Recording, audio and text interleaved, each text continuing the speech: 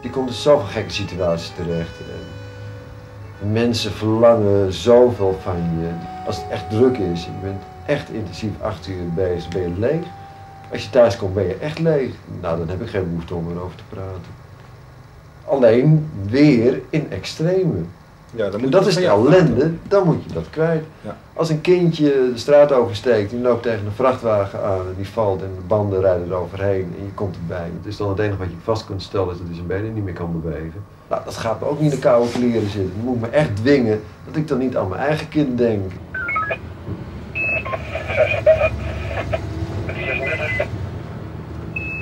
Waar zijn jullie? We zijn nu op de Johan Huisgelaan. As en Lommerplein, As en Lommerplein. Iemand van wel. Het is 1 uur 12 en je opdrachtnummer is 4.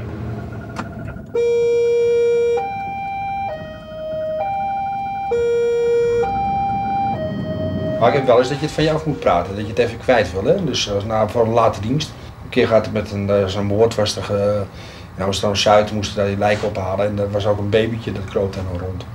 Zo van lijken. Dat is eh, wel eh, extre extreem, maar dat is gebeurd daar. En dan kom je thuis, weet je mijn vrouw die sliep al. Die, eh, nou, meestal eh, maak ik even wakker en zeg dat ik er ben. Tenminste, even nog een praatje maken. Nou, toen vertel ik dat verhaal en toen zeg ik, ga maar lekker slapen. Dus dan zou ik wel niet meer in slaap komen, weet je. Maar dus ik ben het kwijt. En dan denk je achteraf, ja, dat kan je beter niet doen. Dus volgende keer doe je dat niet meer.